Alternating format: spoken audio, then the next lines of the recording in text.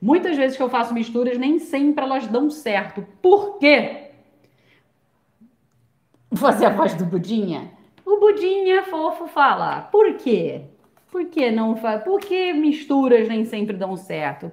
Porque para misturar as coisas precisamos conhecer os ingredientes. Uhum. Sempre. É, quando a gente vai misturar, a gente tem que partir de um eixo central quem é que a gente quer agregar coisas, né?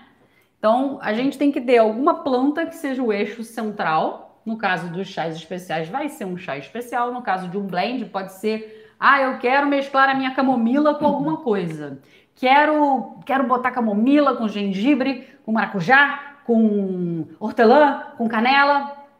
Tudo bem, né? Vamos, vamos pensar aí nessa mistureba maluca, tá?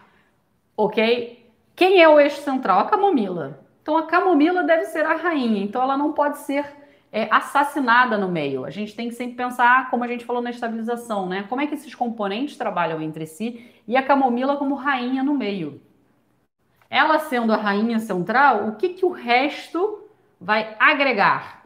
Porque se eu vou colocar uma canela, um hortelã, o que for, esses itens não podem matar a minha camomila, o sabor da minha camomila.